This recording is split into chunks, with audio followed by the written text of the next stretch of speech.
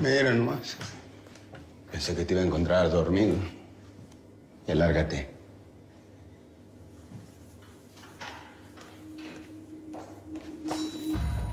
Ya sé que estás metido hasta el pescuezo con Don Cleto, morro. Así con mucho cuidado. Si te vuelvo a ver en mi casa, ¿eh?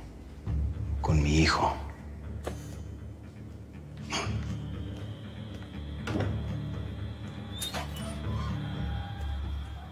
Qué bonito cantan los gallos a esta hora, ¿verdad?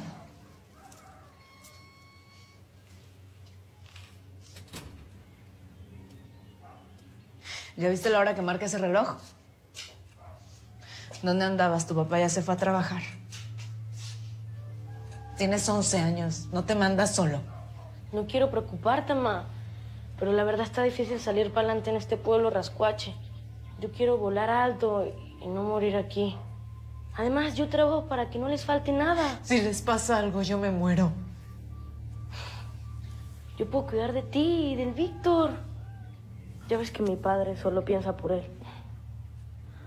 Mañana mando a arreglar esa pared. Ya me voy a dormir. Estoy muerto.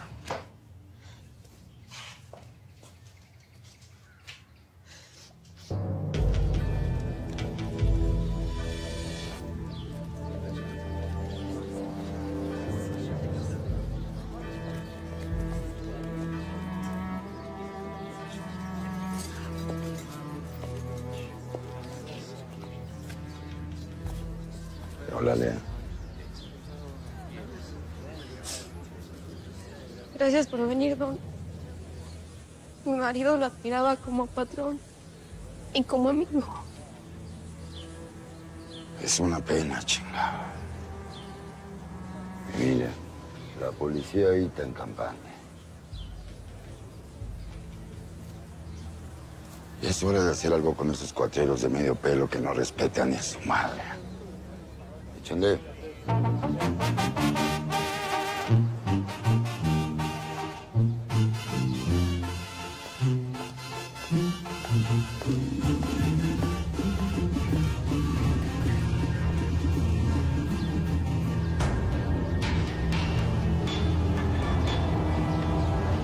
Te voy a presentar a unos amigos para que le aprendas al box y tengas algo que hacer cuando vengas de visita.